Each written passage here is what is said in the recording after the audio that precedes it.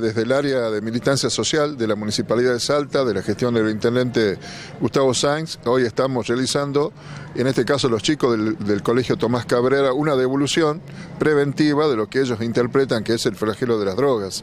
En lo que es eh, el área municipal tenemos un programa que se denomina Mil Jóvenes para el Cambio. La idea es que muchos jóvenes de la ciudad de Salta, escolarizados, jóvenes de los barrios, jóvenes que estén en distintas instituciones, puedan tener conciencia cabal de lo que significa este lamentable presente, donde aparentemente es como que el consumo de drogas se ha incrementado. Por lo tanto, tenemos distintas líneas y estrategias de trabajo. Una de ellas es la prevención.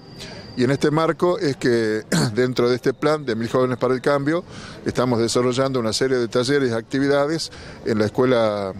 Tomás Cabrera, la Escuela de Bellas Artes, donde gracias a las autoridades hemos podido generar un espacio de encuentro con, este, con estos chicos, de capacitación, de mensajes que fortalezcan la idea de que hay que decirle no a las drogas y de paso también generar esta conciencia de que tienen que ser protagonistas de su tiempo, jóvenes comprometidos con su realidad, que tengan hábitos de vida saludables y un proyecto de vida. Hoy los chicos se han constituido acá en la Plaza 9 de Julio, donde a través de lo que ellos hacen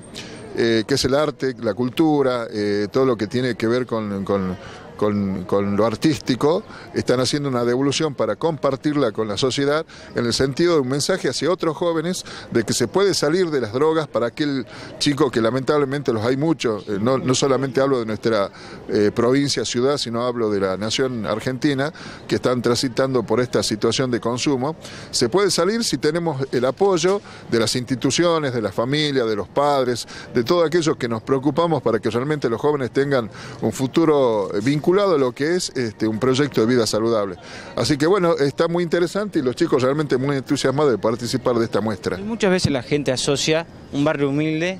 con este flagelo, con esta problemática. Eh, ¿Se está trabajando intensamente ahí para por lo menos eh, que los índices bajen? Sí, digamos la expectativa siempre es